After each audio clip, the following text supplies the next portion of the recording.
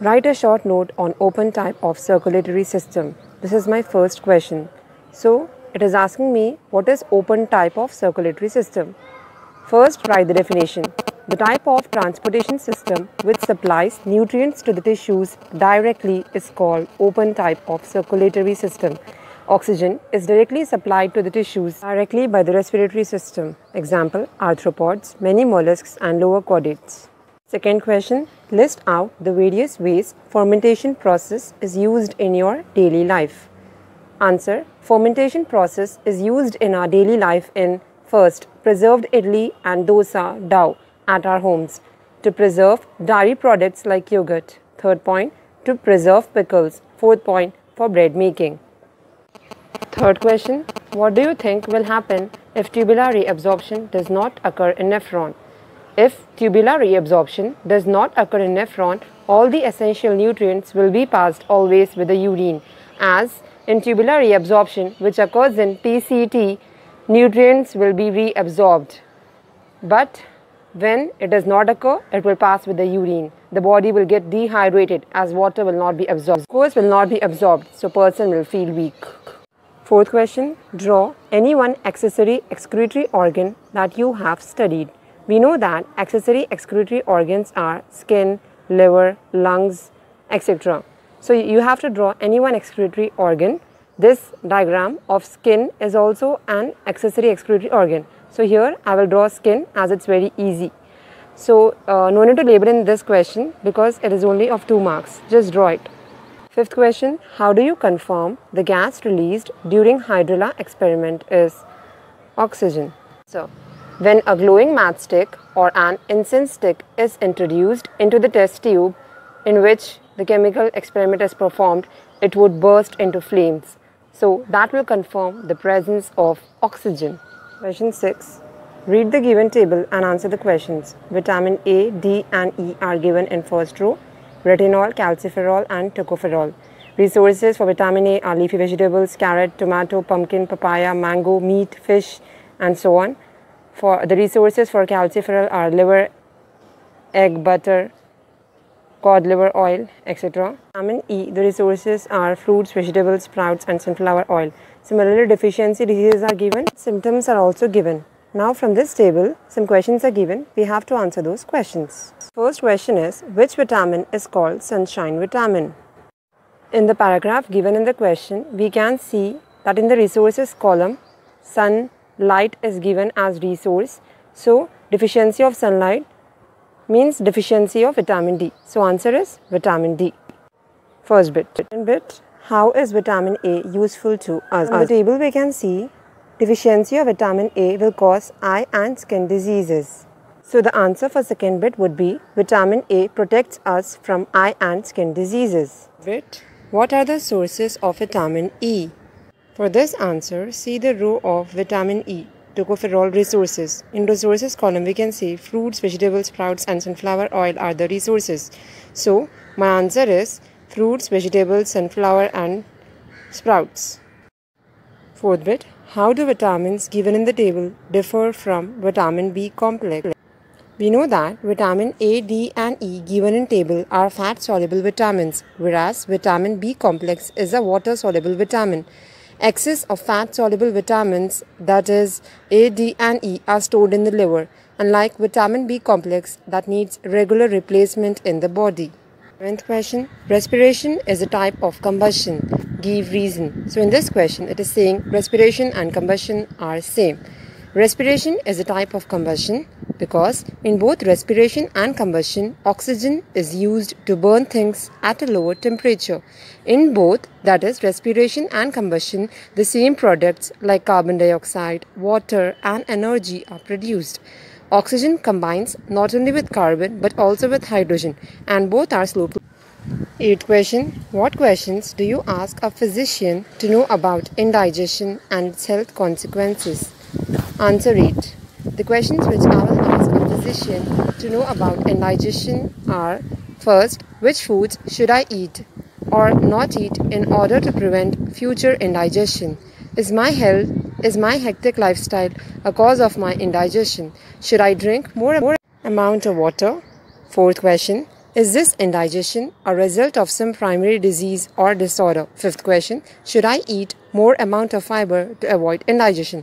Similarly, you can add, more such type of questions. Ninth question is, represent double circulation in human beings in the form of flow chart. From the body parts, the deoxygenated blood is given to the heart and the heart gives that blood to the lungs. The lungs purify the blood and the oxygenated blood is again given back to heart and that blood is again given to the body parts to gain energy.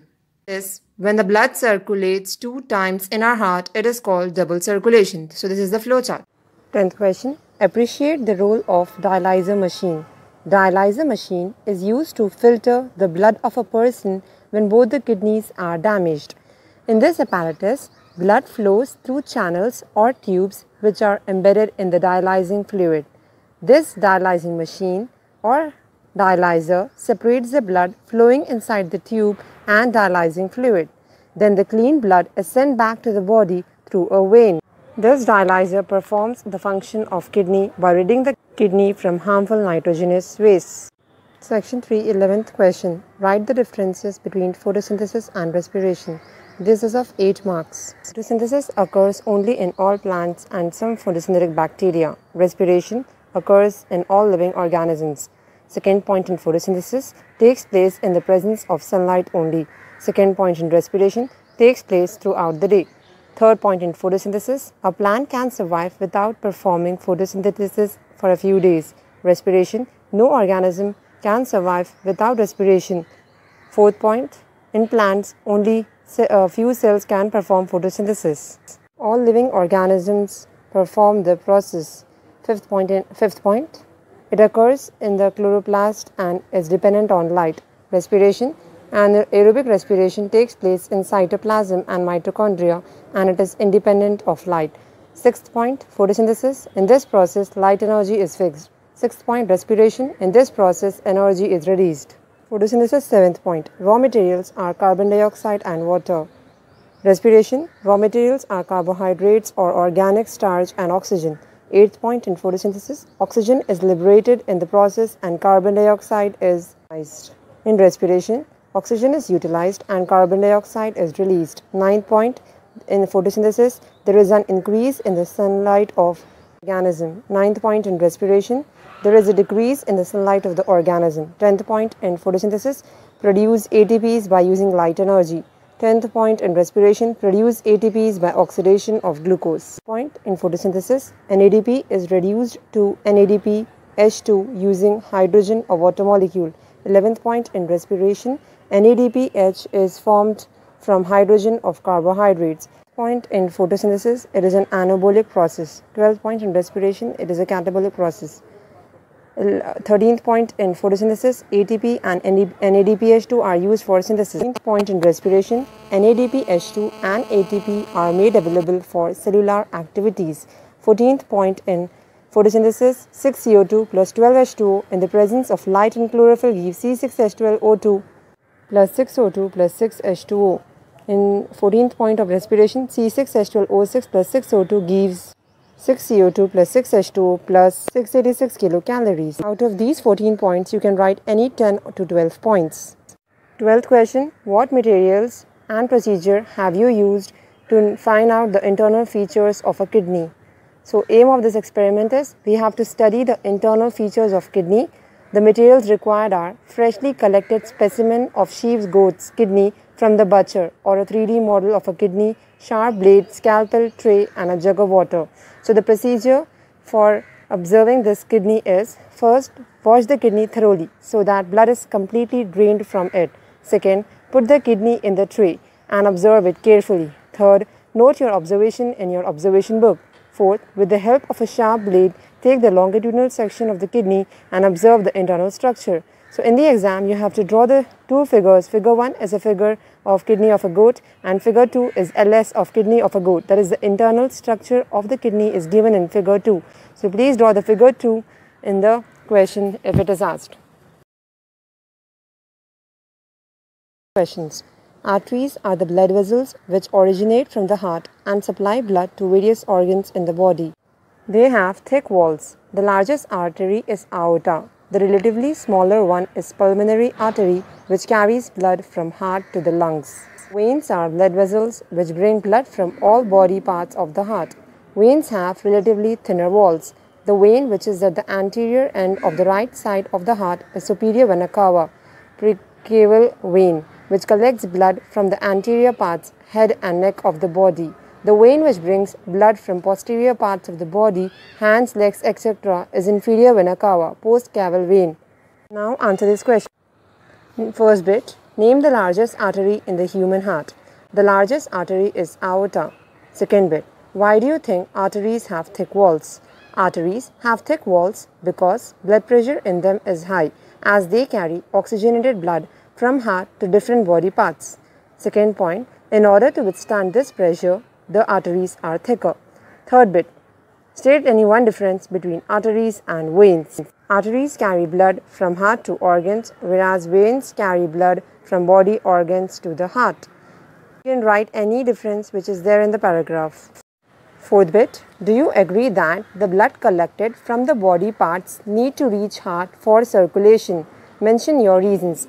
Yes, I agree that the blood collected from the body parts needs to reach the heart for circulation because first bit blood which is collected from body goes to heart for pumping which later pumps oxygenated blood to different body parts. Second point, this carries nutrients to cells and takes away waste. So these are the reasons. 14th question, explain the structure of chloroplast with a neat label diagram. This is the last question in part A and also you have optional questions. Like in section 1 you had to do 3 questions. In section 2 you had to do 2 questions. And again in section 3 you had to do 2 questions. So in this question first of all draw the structure of chloroplast.